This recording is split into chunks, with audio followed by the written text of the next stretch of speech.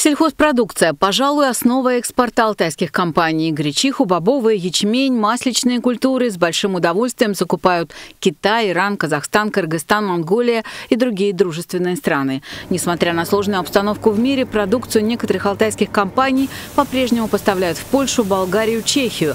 Один из победителей конкурса экспортеров этого года говорит, осваивают и новые рынки сбыта продукции. В этом году мы активно для себя открыли э, новое направление это Азербайджан, это Узбекистан э, по готовой продукции. Основной объем туда идет э, красная шлифованная чечевица. Также в этом году мы активно двигаемся в сторону Китая. Практически все компании региона за последние пару лет полностью переориентировались с рынков Европы на азиатские. В Китай, пожалуй, экспортируют больше всего. Как рассказал еще один участник конкурса, объемы экспорта только в 2023 году выросли на 200%. Но есть и проблемы, прежде всего с платежами.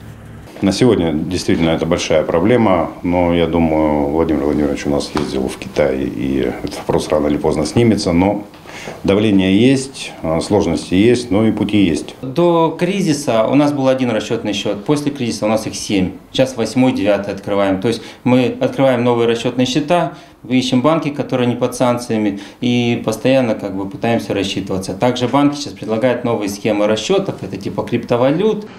Новые направления, которые активно разрабатывают многие компании, экспорт растительных масел. Скоро будут построены собственные маслозаводы. На зарубежном рынке есть спрос, значит и предложение будет.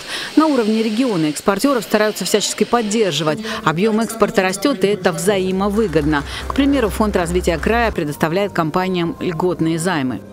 Постоянно правительством края организуются бизнес-миссии дружественные страны, а, в ходе которых наши предприятия встречаются а, с контрагентами, с партнерами, в целом с предприятиями, к которым они проявляют интерес. Один из способов поддержки – конкурс названия лучшего экспортера. Оба героя нашего сюжета стали его победителями в своих номинациях. А это не только дипломы и призы, но и возможность участвовать и побеждать в окружном и федеральном конкурсах. Татьяна Голубева, Владислав Ковалев. День с толком.